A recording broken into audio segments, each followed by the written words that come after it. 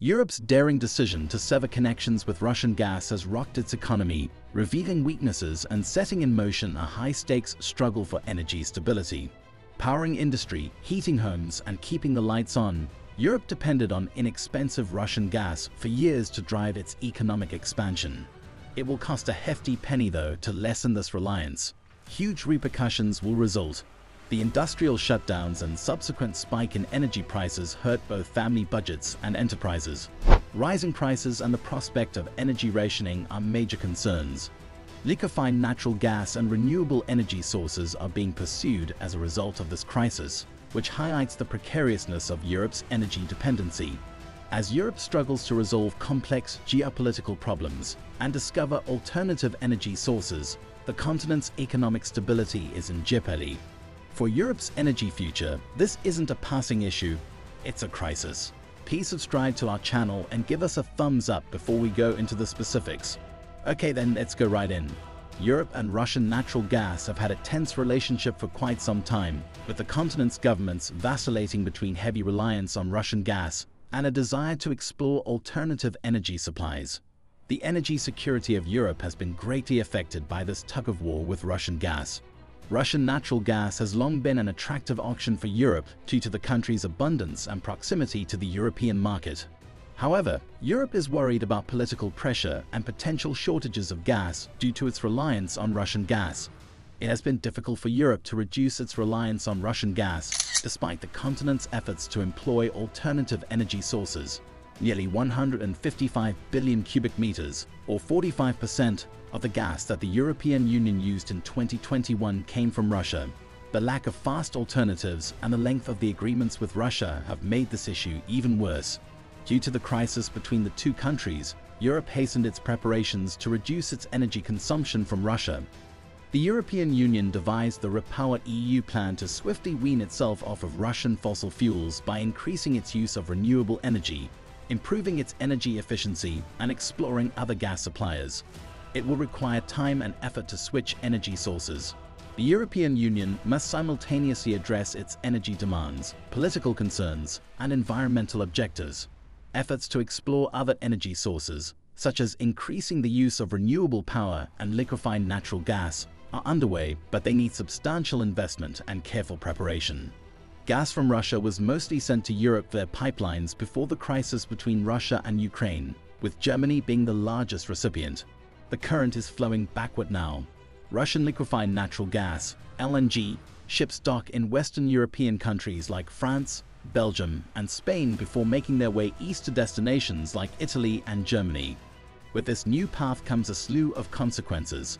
Since the war started, the European Union's imports of Russian LNG have grown substantially, Russia sent 15.6 million metric tons of LNG to European Union ports in 2023, a significant increase from levels before the conflict. Because of its well-developed LNG import infrastructure, Spain is now an important point of entry and exit for Russian LNG inside the European Union. Because liquefying, transporting and regasifying the fuel is an energy-intensive operation, switching to LNG comes with a greater environmental cost. Efforts by the EU to reduce emissions of greenhouse gases are at odds with this.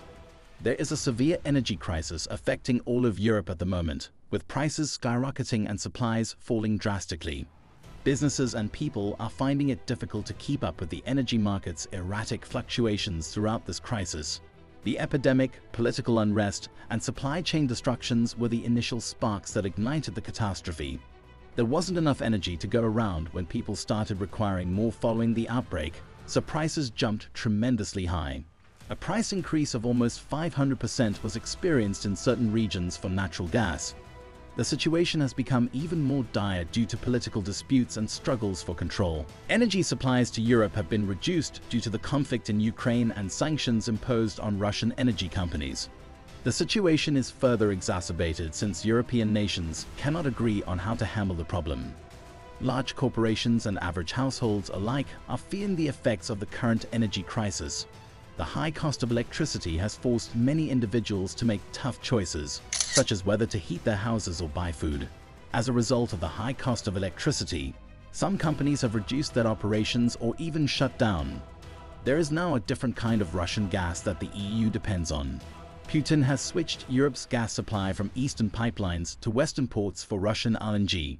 The European Union has witnessed a dramatic decrease in pipeline flows due to a spike in imports of Russian LNG, even though restrictions on Russian natural gas have not been imposed. The European Union is currently Russia's largest LNG consumer, even if LNG levels did not correspond to pipeline flows before the war. Center for Research on Energy and Clean Air Statistics that in February 2024, the European Union received about half of Russia's liquefied natural gas exports, with China ranking in second with 21%. Russian LNG imported into Western European ports, mainly in France, Belgium and Spain, has supplanted around 10% of the prior Russian pipeline flows to the EU.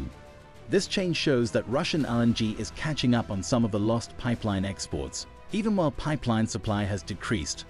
Furthermore, this demonstrates that Europe must continue to rely on Russian gas until it finds other means of generating electricity to avoid a repeat of the current energy crisis. The EU's unwillingness to lose any gas supply to prevent price rises and a recurrence of the energy crisis of 2022 is shown by the fact that neither pipeline gas nor LNG imports from Russia are prohibited.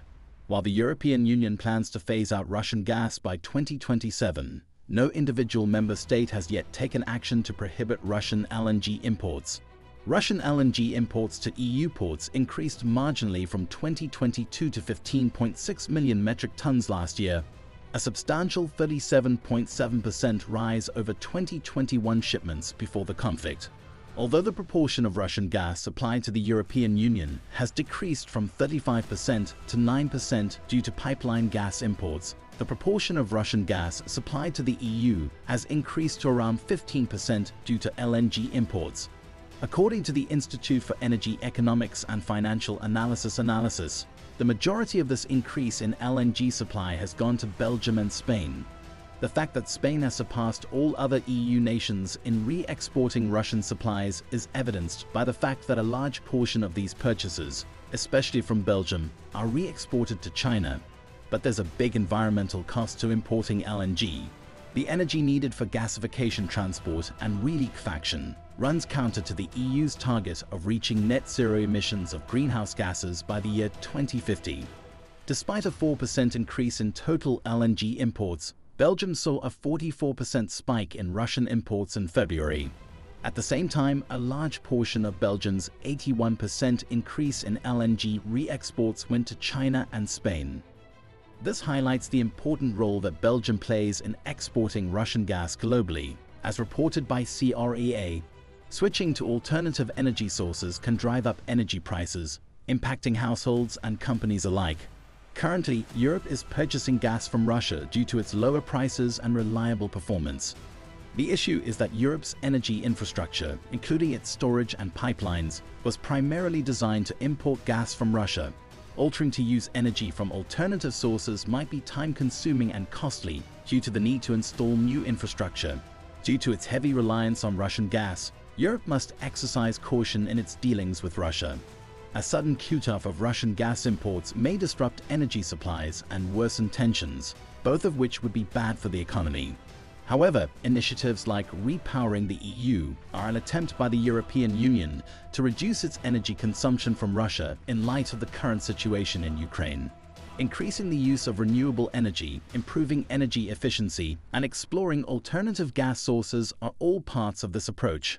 Europe is working harder than ever before to identify alternative energy sources that are safer, more environmentally friendly, and more efficient, even though it will be difficult to immediately quit using Russian gas. If Europe wants a safe and stable energy supply, it must invest in energy infrastructure. Building additional pipelines, interconnectors, and LNG terminals is part of this plan to make it easier to transport gas from various locations. Through investments in energy infrastructure, the Repower EU plan of the European Commission seeks to hasten the shift to renewable energy sources and lessen reliance on fossil fuels supplied by Russia.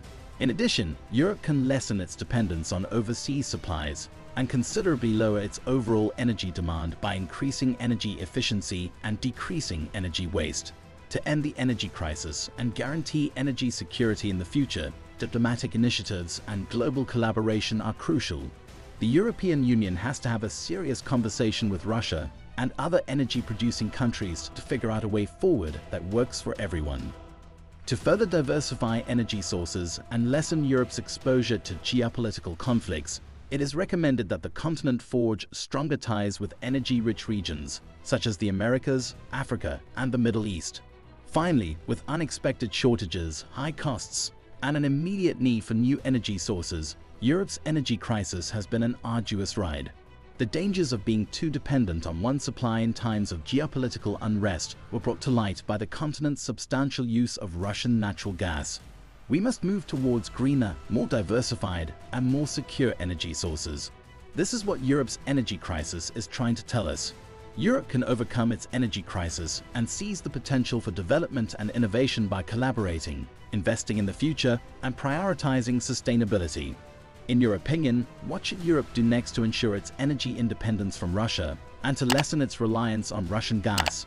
Leave a comment below with your ideas and opinions. The day came to a close with that.